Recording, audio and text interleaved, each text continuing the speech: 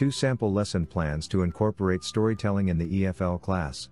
In the next year, I'll be working as an English teaching assistant in Zadar, Croatia, on a Fulbright grant where I'll be working with university level students, as well as with middle school students. I'll be hosting workshops for middle school students on life and culture in America. I hope to utilize storytelling activities to both engage the class and provide an opportunity for language acquisition. Here I'll give an example of a straight arrow ESA lesson that would incorporate storytelling.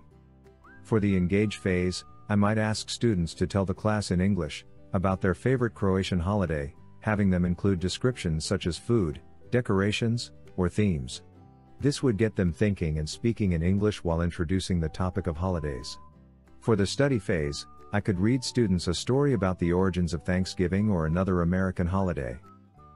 For the second part, I might have them do a word search for language associated with the holiday, such as Turkey, Native Americans, and George Washington. This two part study phase would both introduce them to a new language, as well as elicit language from them to practice.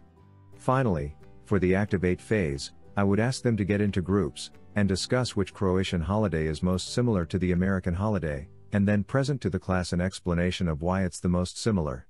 Another area of American culture that I know, Croatian children are interested in is superheroes.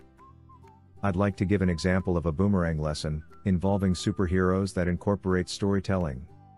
For the engage phase, I'd ask the students to write a list on the board of different qualities they think superheroes should have flight, strength, invisibility, etc.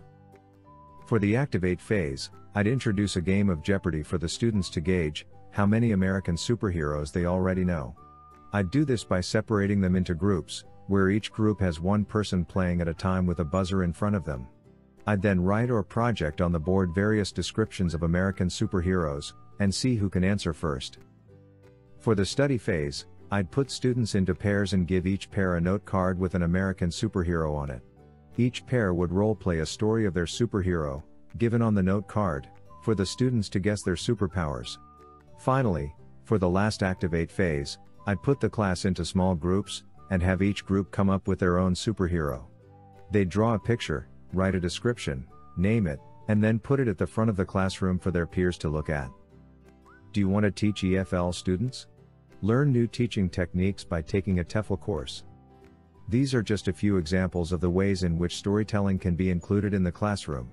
There is room for storytelling in each of the three parts of an ESA lesson, and it is an effective way to keep students involved, and the teachers creative with their lesson planning.